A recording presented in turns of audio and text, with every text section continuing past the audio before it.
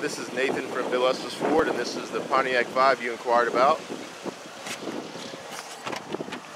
This is a recent trade, so it's not been cleaned up or anything yet. Just under 98,000 miles.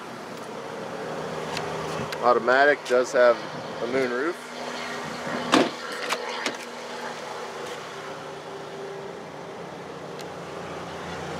Looks like it ought to clean up okay inside.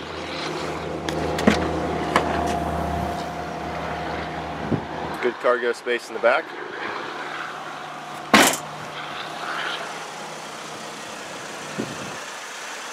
Obviously it's the end of the month tomorrow. If you have any questions about the vehicle, if you'd like to schedule a test drive appointment, please give me a call or shoot me an email. Again, it's Nathan at Bill Estes Ford. Thank you.